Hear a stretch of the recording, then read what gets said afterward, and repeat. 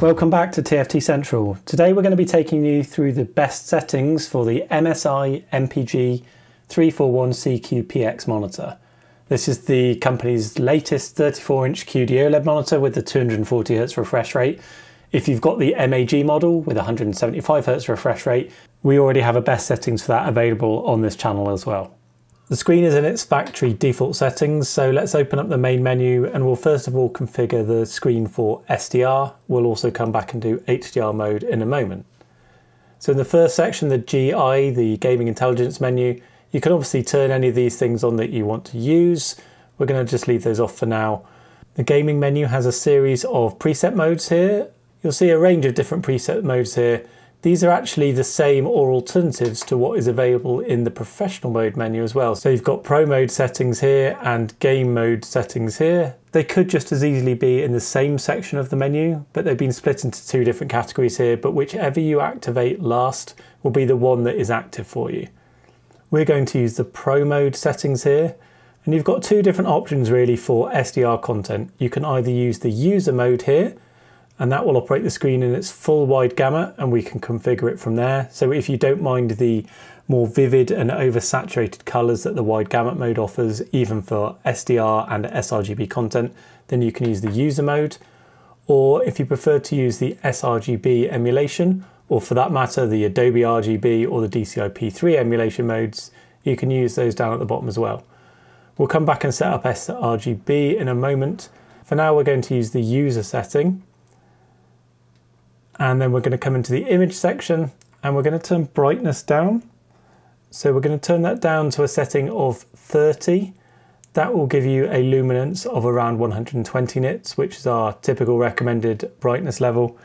If you want something brighter, you can set this to 43 for 150 nits or 64 for 200 nits. We're going to leave that at 30 for now. The color temperature, we're going to switch over to the customization option. You'll see the screen goes initially dark and that's because the RGB channels have all been turned down from their default 100 to 50. We're going to bump these all back up to 100 to start with. And then to achieve a white point of around 6500 Kelvin, we're just going to lower the red channel by two notches. So we've got 98, 100, 100. That should deliver you a white point very close to D65. So that's actually all you need to set up for the user mode, so the screen would then operate in its full wide gamut, as we said. You might want to try out our calibrated ICC profile as well, linked in the description below. That was created to run the screen in its full user mode and then map the colours back to sRGB for colour aware applications like Photoshop and so on. So you might want to try that out as well if you're using the user mode. The alternative option is to come back into the professional menu and change the pro mode to sRGB so that will switch the screen to its sRGB color clamp and the color space will now be mapped nice and closely to the sRGB reference space. So you will notice the colors look less vivid and less saturated, but that is deliberate. If you want higher levels of accuracy for sRGB work and SDR, then you might want to use this mode. You'll see that the color temperature setting is now not available in sRGB mode.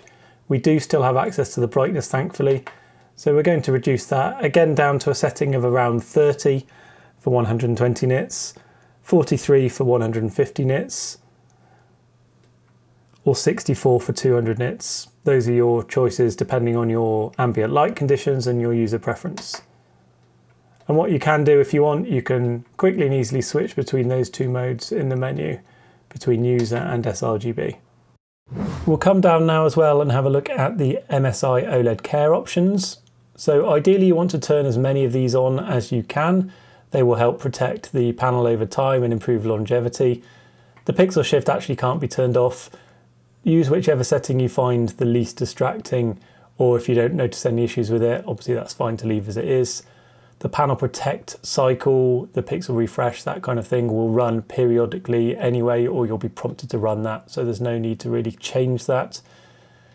Static screen detection will dim the screen if it detects a lot of static use, like if you've left it alone for a long period of time, you can control how quickly that kicks in, the time required, how aggressively it reduces the brightness, that kind of thing. Have an experiment with that and see which options you prefer. Multi-logo detection, again, we'll turn that on. You can change the reducing level here, one or two. Taskbar detection, again, we'll turn that on, reducing level. There's three options there.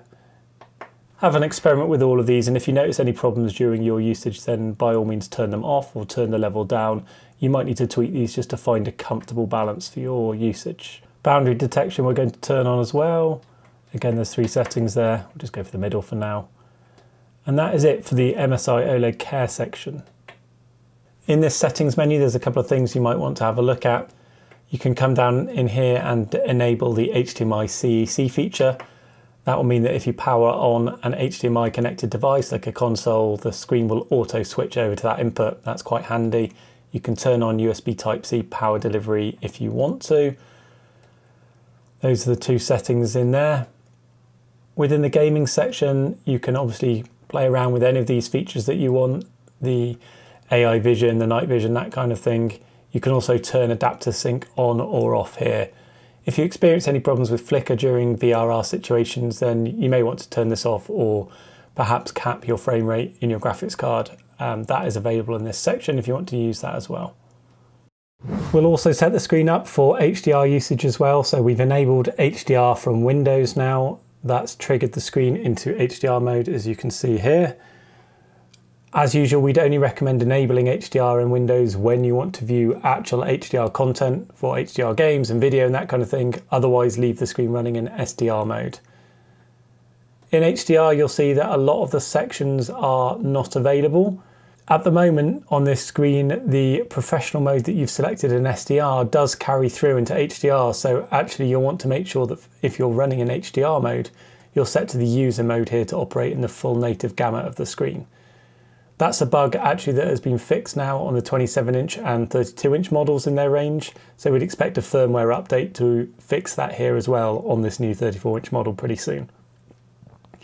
For now, just make sure that you're using the user mode in HDR. You'll see that a lot of the settings are now not available here. The only one really to change is the display HDR mode. You can choose between True Black 400 and Peak 1000 nits.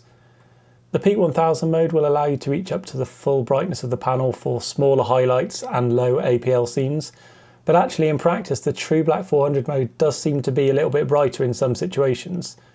We've explored that in a load of detail in our article that's linked below, so check that out.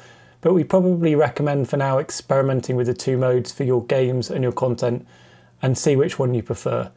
It might well vary depending on your user preference, the type of content you're viewing, and so on. At the moment, the True Black 400 mode can appear brighter where the scenes are brighter, so have a play around with both of those modes and see which one you like. And that's the screen setup for both SDR and HDR usage. If you want, you can also download our configuration file for the MSI Gaming Intelligence software that will allow you to quickly and easily import all of these recommended settings. That's available and linked below.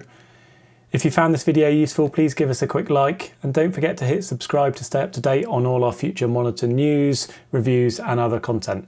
Thanks for watching, we'll catch you next time.